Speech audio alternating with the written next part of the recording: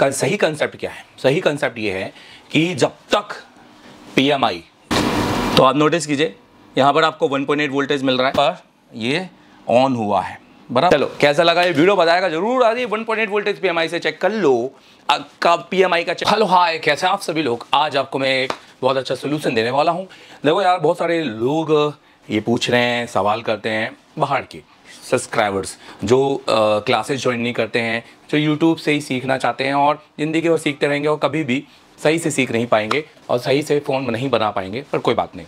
और जो सस्ते के चक्कर में लुट जाते हैं, जो या तो सिर्फ़ स्केमेटिक सीख कर जाते हैं या पूरा कॉपी भर कर आ जाते हैं, लिख कर आ जाते हैं, और क्या छोड़ो, ये सारी बातें करने के लिए वीडियो नहीं बनाया।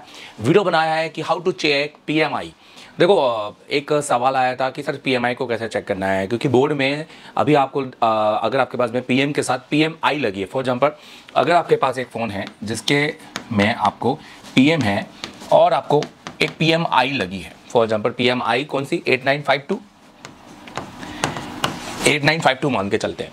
तो हाउ टू चेक परफेक्टली तरीके से how to check in a perfect way P M I is good or not so P M I को कैसे हम बताएँ कि वो सही है?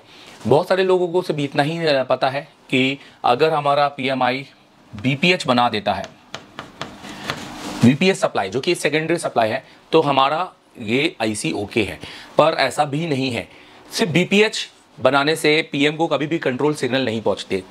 हाँ पीएम की रिक्वायरमेंट है, एक इनपुट एज अ बीपीएच बहुत, देखो, ध्यान से समझना और सुनने की वाली बात है कि जब तक आप चीज़ों को समझेंगे और सुनेंगे और सीखेंगे नहीं, तब तक आप उसको प्रैक्टिकली कर नहीं पाएँगे। और प्रैक्टिकली करने का मतलब अगर आपका हैंड स्किल ही सही नहीं है तो आप सीपीयू की लेयर भी समझ लें तो उसका कोई फ़र्क नहीं पड़ता।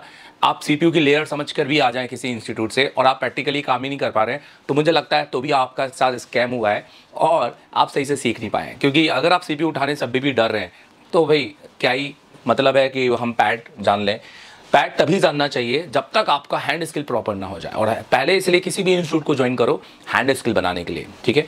तो मैं रीज़न इसलिए बता रहा हूँ क्योंकि बहुत से लोग सिर्फ़ यही समझते हैं कि बीपीएच आ गया पी हो गया। नहीं, ऐसा नहीं है। थोड़ा सा मैं आपको डिटेलिंग करता हूँ। बहुत सारा डिटेलिंग तो मैं नहीं दूँगा बट शॉर्ट वीडियो बनाना चाहता हूँ। तो थोड़ा सा डिटेलिंग मैं आपको देना चाहता हूँ। नोटिस कीजिएगा। कभी भी जैसे ही हम बी बस एंटर करवाते हैं किसके अंदर? पीएमआई के अंदर। तो आपको सभी को पता है कि पीएमआई स्विचिंग करती है।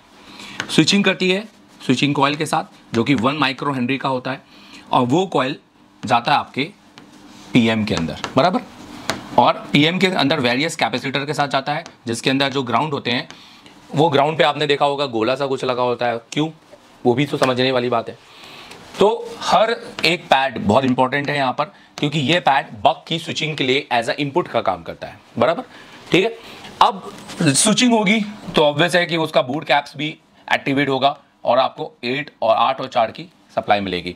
पर क्योंकि सिर्फ़ बीपीएच मिल जाए इसको तो पीएम थोड़ा समझेगी कि मैं एक्टिवेट हूँ। क्यों?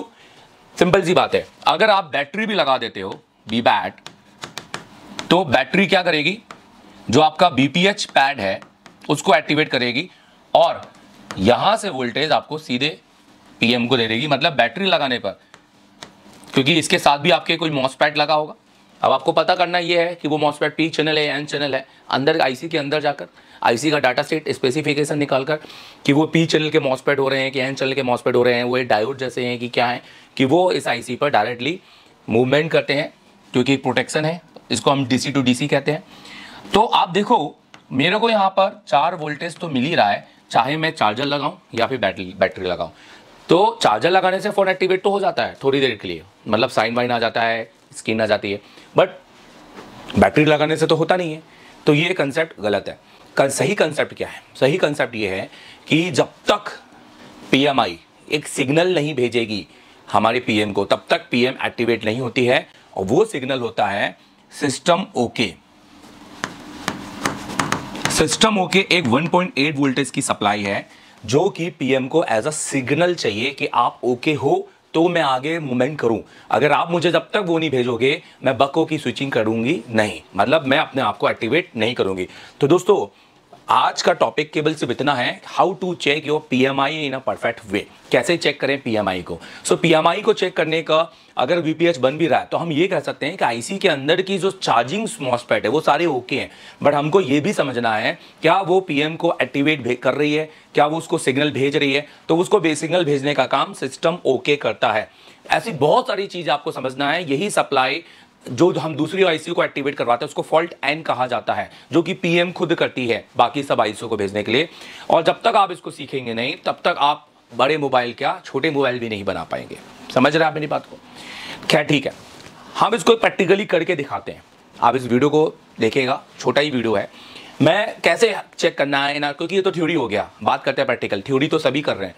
हमें कुछ प्रैक्टिकल और ऐसा telecom always believe in practical पूरे देश में पूरे देश में एकमात्र एसर टेलीकॉम एक ऐसा इंस्टीट्यूट है जो प्रैक्टिकल पे सबसे ज़्यादा ध्यान देता है, जो आपकी हैंड स्किल सबसे ज़्यादा ध्यान देता है, जो लाइट सेक्शन में भी, लाइट सेक्शन ही पढ़ाता है खाली, लाइट, डिस्प्ले और टच एक साथ नहीं। और जो लाइट सेक्शन में भी आपको रात में सीपीयू निकलवाएगा आपसे सी, और चालू बोर्ड में आपसे एमएमसी निकलवा के लगाएगा, क्योंकि वो डेली आपकी हैंड स्किल को बनवाता है। क्योंकि वो अपनी पूरी रिस्पॉन्सिबिलिटी के साथ आपको पूरे समय देता है। आपको हॉस्टल में एक भर मिनट बैठने का आराम देता नहीं है। खैर, वो, वही जानते हैं जो इससे टेलीकॉम में आए हैं और वही जानते हैं जो इससे टेलीकॉम से पढ़ के गए हैं। अब मैं ये समझता हूँ कि अभी की जो दौर चल रहा है, उसमें इससे टेलीकॉम अपने स्टूडेंट को ज़बरदस्त नॉलेज दे रहा है। वो भले एक वीडियो नोट्स हो, वो एक हैंड स्किल हो, वो एक सर्किट वे हो, वो एक सोल्यूशन हो, ज़बरदस्त हैंड स्किल ज़बरदस्त नोट्स ज़बरदस्त चीज़ें मिल रही हैं। साथ में मलिक सर के साथ आते साथ नए नए गिफ्ट्स मिल रहे हैं, रामराज सर से नए नए ऑफर्स मिल रहे हैं और भी कई चीज़ें उनको मिलती जा रही हैं। उसके अलावा क्रिकेट मैच मतलब फन एक्टिविटी हम कभी भी संडे मंडे या कभी भी ऐसे दिन को छुट्टी नहीं देते और क्रिकेट मैच भी हम अपने सुबह की छः बजे की वैसे शाम के छः बजे तक, जब तक बारह घंटे नहीं पढ़ाते, तब तक खिलवाते नहीं। वो भी सिर्फ़ एक बार, वो भी सबसे आखिरी दिन में। दोस्तों, आप हमें लाइव ज़रूर देखिएगा, ताकि आपको पता चलेगा कि किसी भी इंस्टीट्यूट को ज्वाइन आप कर रहे हैं ना। किसी भी। फ़ीस, कम फ़ीस के कारण बीस हज़ार, पच्चीस हज़ार में जा रहे हैं तो प्लीज़ एक बार एसआई टेलीकॉम को ज़रूर कॉल करना। किसी की मत सुनना। अपने दिल की सुनना। हमें फेसबुक में फॉलो कर रहे हो, नहीं कर रहे तो करो। अपने दिल की सुनना और एक बार हमें ज़रूर कॉल करना। हो सकता है कि हम आपकी ज़िंदगी बदल दें और ये बात का दावा करते हैं। हो सकता है हम आपकी ज़िंदगी बदल बट एक बात ध्यान रखिएगा एसर टेलीकॉम एक मात्र ऐसा इंस्टीट्यूट है जो कि डिसिप्लिन पे चलता है और बहुत हार्ड है। और मेरा नाम तो थोड़ा ज़्यादा ही फ़ेमस है। चलो, अभी हम एक प्रैक्टिकल करते हैं कि कैसे हम पीएमआई को चेक करें। बट हमें उसके लिए पीएम का डाटा चाहिए। हमने उसके लिए एक डायग्राम आपके सामने खोलते हैं। पहले, जैसे फॉर एग्ज़ाम्पल ये डायग्राम मैंने लिया है ओप्पो का, और प्रैक्टिकली मैं किसी भी आईसी में आपको करके दिखाता हूँ। यहाँ पर अगर हम बात करेंगे, यहाँ पर आप देखिए कि आपको दो आईसी यहाँ पर मिल रही हैं, ठीक है?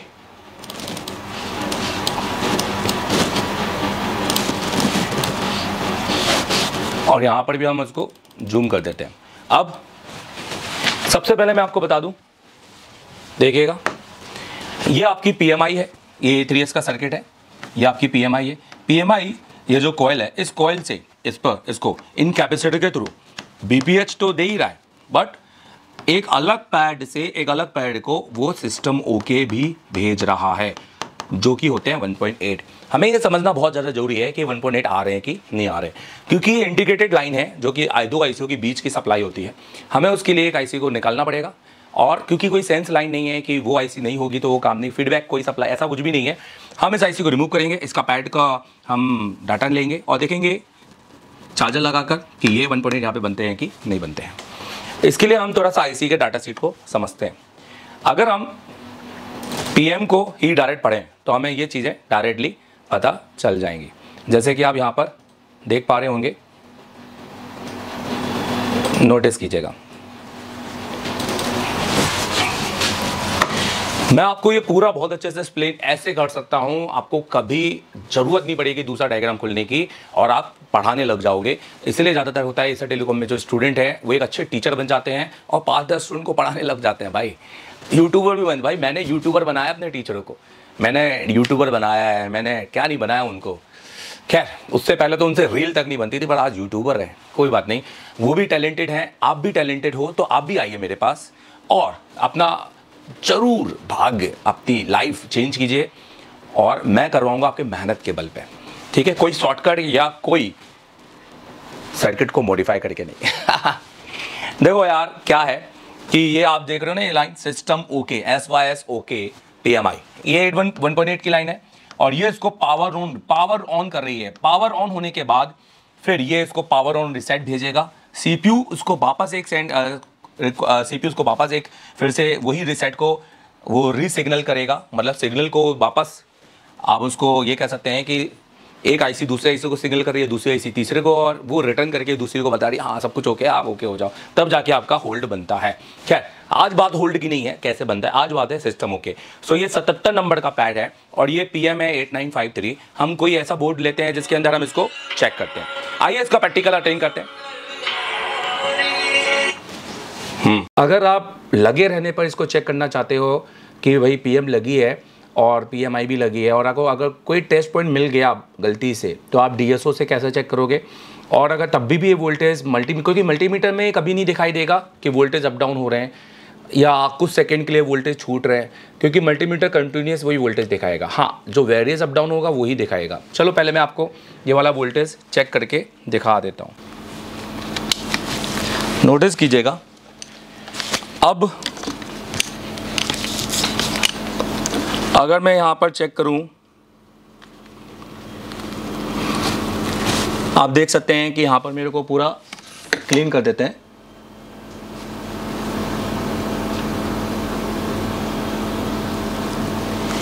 देखिए, आप देख रहे हैं कि मेरे को यहाँ पे बी बस पे पूरे पाँच वोल्टेज मिल रहे हैं। और अगर हमारा सिर्फ़ बीपीएच बन रहा है तो बीपीएच से मैं ये नहीं कह सकता कि मेरा वोल्टेज ओके है। जैसे देखिए, यहाँ पर देखिए 3.6 बन रहा है तो इसका मतलब ये तो ना है कि मेरा वोल्टेज ओके हमें देखना पड़ेगा, इस आईसी से जो कि सिस्टम ओके निकल रहा है, वो इस आईसी तक पहुँच रहा है कि नहीं पहुँच रहा। तो हमें इसके 77 नंबर के पैड पर जाना पड़ेगा। अब हमें इसका 77 नंबर पैड गिनना पड़ेगा, ठीक है? तो मैं आपको सतहत्तर नंबर का पैड अभी तो फ़िलहाल गिन के नहीं बता सकता, क्योंकि वो आपको क्लासेस आना पड़ेगा। अगर आप इसको सीखना चाहते हैं ना तो जो दोस्तों ज़रूर कोर्स ज्वाइन करना, क्योंकि मैं हैंड स्किल पे ज़्यादा ध्यान दिलवाऊँगा। स्केमेटिक तो मैं आपको 5G तक अपडेट करूँगा, वो आप भूल जाओ कि वो मैं आपको कैसा पढ़ाऊँगा। बट मैं आपको हैंड स्किल अपडेट करूँगा। आप देखो, मैंने अभी प्रगमा फिक्स खोला है, और प्रगमा फिक्स में सबसे बड़ी और अच्छी बात, बहुत से लोगों को नहीं पता है मतलब प्रगमा फेस के बहुत सारे फ़ायदे भी नहीं पता। अभी मैं बहुत जल्दी एक प्रगमा फेस पे वीडियो बनाने वाला हूँ। इंडिया का नंबर ए पहला वीडियो, जो कि देवता अग्रवाल बनाएगा, और वो आपको एक दो दिन के अंदर मिलने वाला है। आप देखो तो ये आपका पीएम है। इस पीएम के अंदर आपका ये जो पैड है, ये पैड आपका सतहत्तर नंबर का है। अभी कैसे पता चलेगा? आप यहाँ पर कॉम्पोनेंट मैप क्लिक करेंगे तो आपको यहाँ पर पता चलेगा कि ये यहाँ पर सतहत्तर नंबर है। अब हम इसको चेक कर लेते हैं। मतलब यहाँ से एक, दो, तीन, चार, पाँच छः और तीसरा। अब हम इसको चेक कर लेते हैं कि हमारे को वहाँ पे 1.8 वोल्टेज आ रहे हैं कि नहीं आ रहे ये वाला। तो आप नोटिस कीजिए, यहाँ पर आपको 1.8 वोल्टेज मिल रहा है।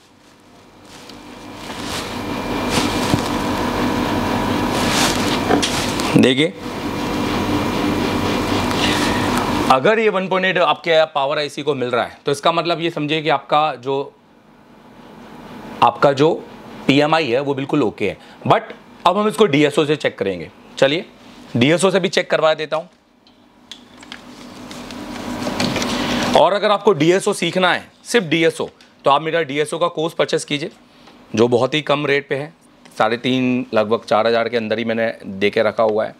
और क्योंकि उसके अंदर मैंने कंप्लीट चीज़ें डाली हैं डीएसओ और आपने दो दो डीएसओ को आप उसमें सीख सकते हैं। अपडेट हो अपडेट भी आप हो सकते हैं, एक साथ।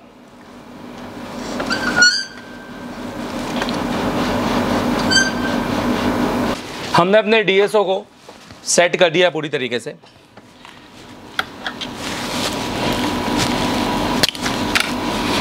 बस हमको टच ही करना है।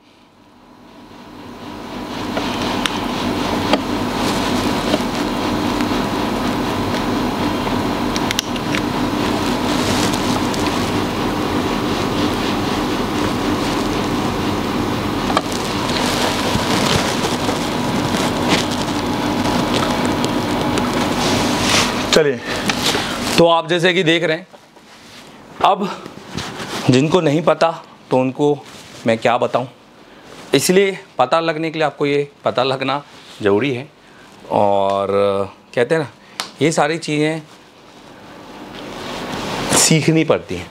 आप देखो तो यहाँ पर जो वोल्टेज है मैक्सिमम 1.9 और यहाँ पर ये ऑन हुआ है। बराबर? अभी हमने इसको जूम नहीं किया।